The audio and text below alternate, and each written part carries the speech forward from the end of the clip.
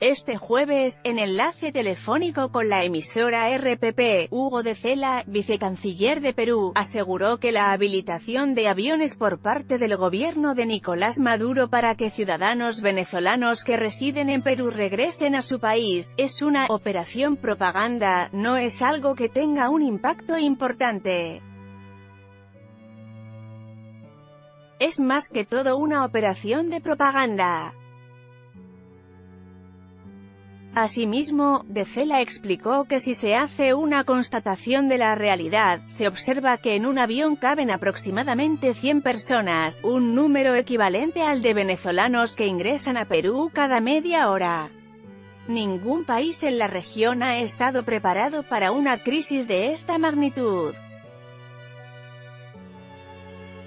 El esfuerzo que estamos haciendo ahora es tratar de medir el tamaño de la crisis en cada uno de los países, identificar cada una de las falencias, detalló.